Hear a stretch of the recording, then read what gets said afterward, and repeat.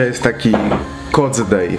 To jest dobre określenie na, na ten stan, który panuje. Po całym tygodniu robienia czegoś od rana do nocy przychodzi moment, w którym można w końcu odpocząć i poleżeć pod kocem.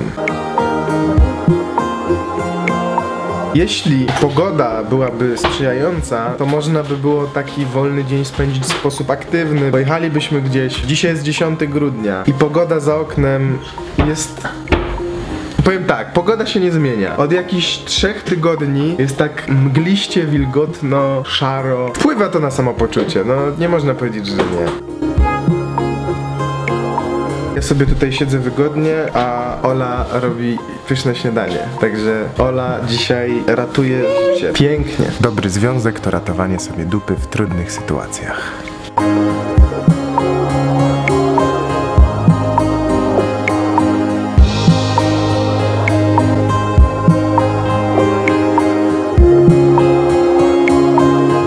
Kilka dni temu miałem urodziny i w związku z tym, że usunąłem z Facebooka swoją datę urodzenia, praktycznie nikt mi życzeń nie składał. Facebook nas rozleniwił i teraz naprawdę nie pamiętamy, kiedy nasi znajomi mają te urodziny. Nie ma się co dziwić, takie jest życie. Z okazji urodzin dostałem jeden prezent. Jeden jedyny. Z racji tego, że jedyny, no to bardzo wyjątkowy. I nie dlatego, że nie miał konkurencji i, i, i dlatego jest taki fajny, tylko po prostu naprawdę fajna rzecz. Dostałem od kumpla zestaw skarpetek.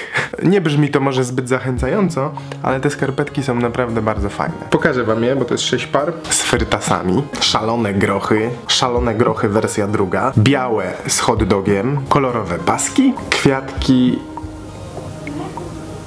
Dziękuję, Kubo. Kuba to jest gość. Idę się położyć.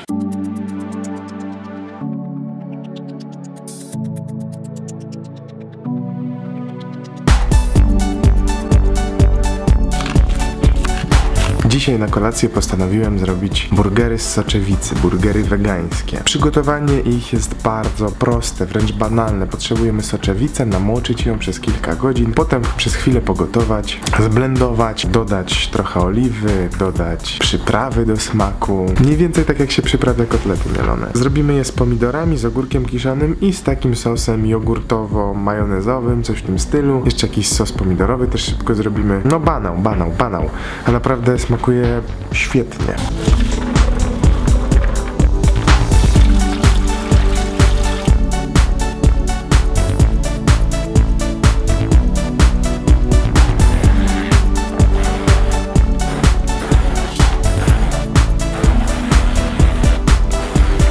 Żeby było jeszcze bardziej hipstersko, całość usmażymy na oleju kokosowym.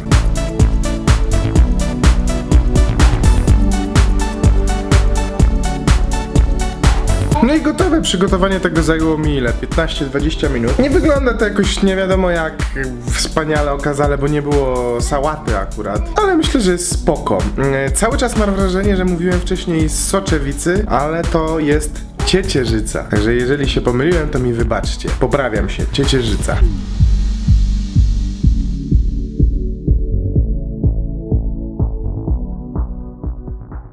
To jest makabra, po prostu zostałem sam z Jolcią, Ola gdzieś poszła, no i tak sobie siedzimy tutaj na podłodze. W tle sobie puściłem jakieś e, piosenki świąteczne, takie amerykańskie. 8 miesięcy ona jest na świecie, a ja nie wiem, jakoś dopiero teraz sobie uświadamiam, jak jak jest to niesamowite, naprawdę.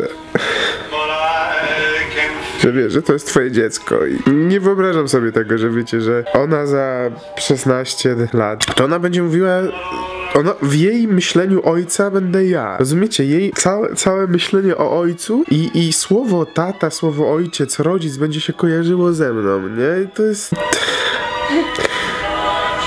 To jest wyzwanie i to jest piękne też. No nie? I to jak się uśmiecha. No. I jeszcze ta świadomość, że na pewno nie wszystko ci się uda, nie? Że, że na pewno popełnisz błędy, które dziecko potem będzie wiesz, miało problem z czymś przez ciebie, bo ty coś zawaliłeś, nie? Ale z drugiej strony, ile pozytywnych rzeczy można przekazać i, i wpływ, gigantyczny wpływ na życie drugiego człowieka, po prostu, że całe jego istnienie jest tak naprawdę na tobie, a jednocześnie nie jest na tobie. To był zły pomysł, żeby puszczać te piosenki dzisiaj. O ja, są strasznie wzruszające, nie wiem, jakoś triggerują moje, moją duszę po prostu tam. Łaskoczą tam ten rejon, który jest odpowiedzialny za wzruszenie. Miłość, rodzina, dzieci. Piękne rzeczy.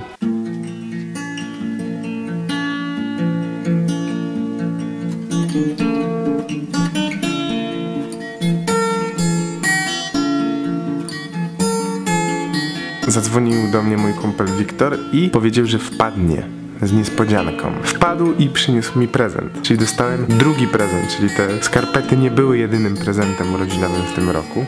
A już wam pokazuję, co mi przyniósł. Przyniósł mi Star Warsy. Nabył Starfighter, Starfighter. Dzień dobiega powoli końca. Myślę, że odpocząłem, myślę, że wyciszyłem się trochę. Takie emocje zeszły. Moi drodzy, zostawcie komentarz, napiszcie, jaki był wasz najfajniejszy prezent urodzinowy, który dostaliście. Widzimy się jutro. Cześć.